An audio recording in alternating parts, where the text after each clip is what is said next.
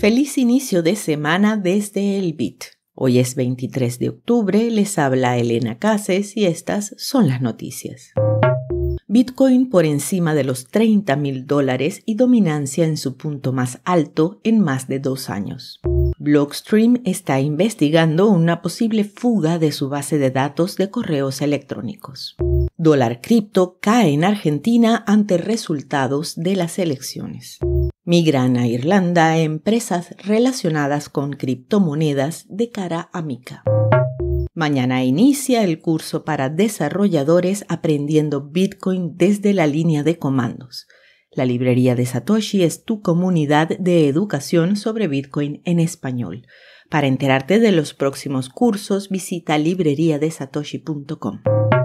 Bitcoin está mostrando resiliencia a medida que los inversionistas continúan conservando sus monedas en medio de la incertidumbre del mercado. La criptomoneda alcanzó su máximo de tres meses por encima de los 30.900 dólares y el interés abierto para los contratos de opciones ha aumentado a más de 6.460 millones de dólares. Además, los depósitos en plataformas centralizadas han alcanzado sus niveles más bajos desde mayo, lo que indica que los tenedores a largo plazo no están vendiendo a pesar del precio. Las direcciones activas también han disminuido. Todo esto repercutió en la posición dominante de Bitcoin en el mercado que ha alcanzado su punto más alto en más de dos años y ahora representa más del 49% según datos de D-Block. Esto se atribuye al repunte anual de la criptomoneda con un aumento del 81% de su valor desde principios de año.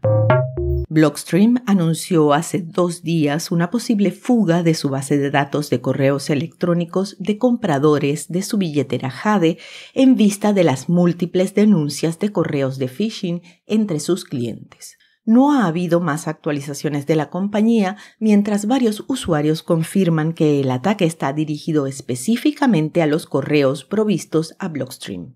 La empresa cierra el comunicado con los consejos habituales, no hacer clic en ningún enlace contenido en correos ni proveer ningún dato relacionado a sus wallets. También asomaron que el ataque no estuviera relacionado con ellos directamente, sino a los usuarios de Bitcoin en general, cosa que fue ampliamente desmentida en las respuestas al post.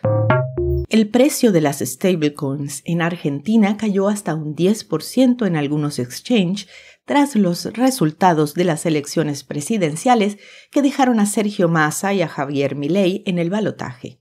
Algunos analistas atribuyen la caída a la incertidumbre sobre el futuro del país, mientras que otros la ven como una señal de que los inversionistas están apostando por masa, quien ha propuesto la creación de un peso digital argentino, al contrario de Milei, que se ha mostrado más favorable a Bitcoin.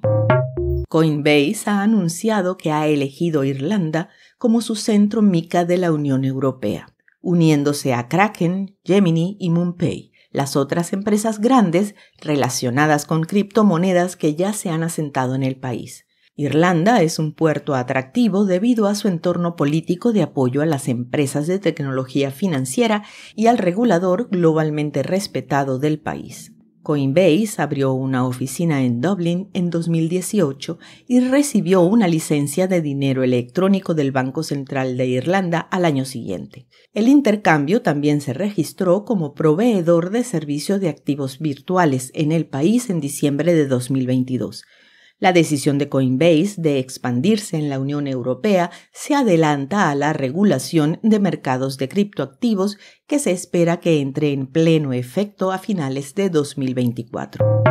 Al cierre, el precio de Bitcoin se mantiene alrededor de los 30.662 dólares por moneda. Esto fue el Bit desde la librería de Satoshi con la producción de Proyecto Bitcoin.